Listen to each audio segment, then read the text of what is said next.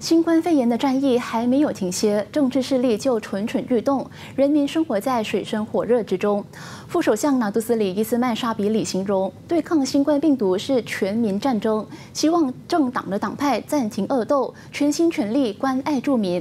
另外，他强调，近来病例高企，在卫生部的意料之内，当局已经有所行动应对激增的患者。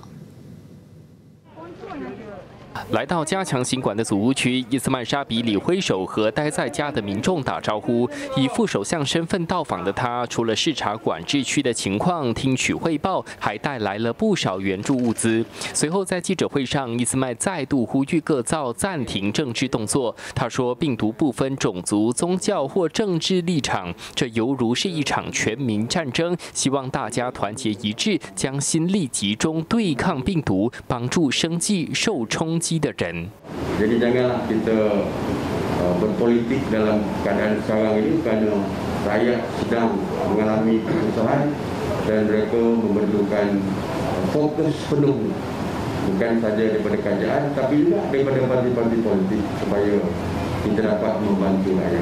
他举例，政府不分朝野，每个国会选区拨款三十万令吉，帮助弱势群体，就是希望所有人超越党派，齐心配合抗疫。